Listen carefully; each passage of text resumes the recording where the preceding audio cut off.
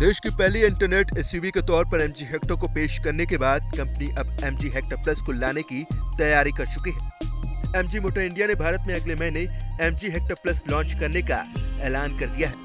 Company ने अपने official Twitter account पर इसकी जानकारी दी। कार लवर्स लंबे वक्त से इस कार का इंतज़ार कर रहे हैं। चलिए अब आपको इस कार के स्पेसिफिकेशंस और खासियतों के बारे में बताते हैं। ये कार कंपनी की सबसे पॉपुलर एसयूवी एमजी हेक्टर से ज़्यादा स्पेसियस है। हेक्टर में सिर्फ़ फ्रंट और बैक रो है।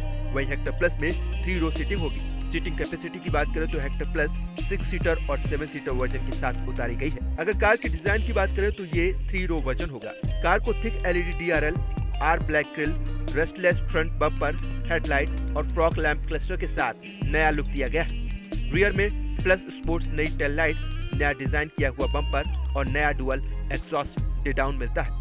कार की लंबाई तकरीबन पहले मॉडल के ही बराबर आकी जा रही है। एमपीबी सेगमेंट में हेक्टर प्लस की टक्कर Toyota Innova Crysta Mahindra Marazzo और मारुति सुजुकी एक्सएल सिक्स से होगी। हेक्टर प्लस की कीमत हेक्टर से करीब एक लाख रुपए ज़्यादा होगी। हेक्टर मॉडल के अकॉर्डिंग फ़िलहाल इसकी कीमत बारह लाख चौहत्तर हज़ार रूपए ऐसी सत्रह लाख तिहत्तर हज़ार रूपए के बीच आती है। कंपनी के पास तेरह हज़ार ग्राहकों की बुकिंग बाकी है, जिसमें लगभग पच्चीस फ़ीसदी बुकिंग कैंसिल हो गई। लेकिन अभी भी लगभग हर दिन 50 कारों की बिक्री के ऑर्डर मिल रहे हैं। कंपनी से जुड़े लोगों के मुताबिक ये कार जुलाई के दूसरे सप्ताह में लॉन्च हो सकती है।